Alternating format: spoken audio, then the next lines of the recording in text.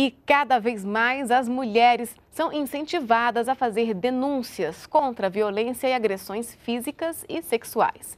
E o Ligue 180 é um espaço público para isso. Desde que foi criado em 2005, já registrou cerca de 4 milhões de atendimentos.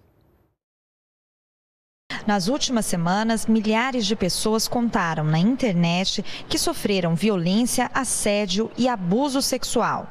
Nas redes sociais Facebook e Twitter, com a hashtag Meu Primeiro Assédio, histórias tristes e revoltantes de desrespeito, casos assustadores de violência, crimes contra a infância e a juventude e principalmente contra a mulher. A publicitária Luísa é gerente de conteúdo da ONG que iniciou a campanha Primeiro Assédio nas nas redes sociais. Ela conta que a internet é um espaço para dar mais voz à sociedade. O que é bacana na hashtag é que essas mulheres encontraram força para falar sobre um problema que elas muitas das vezes acreditavam nem existir ou que passaram por cima e ignoraram durante muitos anos, né? Existe uma força muito grande em se reconhecer vítima de uma violência, porque a partir daí você consegue lutar contra ela. Para Eleonora Menicucci, secretária especial de Políticas para as Mulheres, o debate sobre os direitos das mulheres nas redes sociais mostra o avanço da conscientização sobre o tema. As mulheres jovens feministas, hoje jovens mulheres, negras, brancas, tomaram consciência e ninguém tira essa consciência delas mais. Elas não aceitam é, serem assediadas em ônibus e metrô, é, serem estupradas, serem agredidas. Veja a quantidade de hashtag que tem nas redes sociais. Um espaço público para as mulheres denunciarem violência e maus tratos é o Ligue 180. Desde que foi criado em 2005, já registrou cerca de 4 milhões de atendimentos. Só no primeiro semestre deste ano, o serviço foi acionado mais de 360 mil vezes.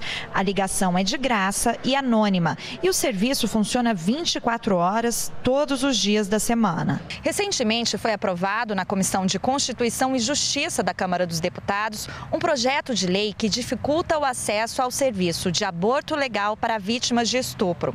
Hoje o aborto é um direito, uma opção para mulheres e meninas que engravidam ao serem estupradas.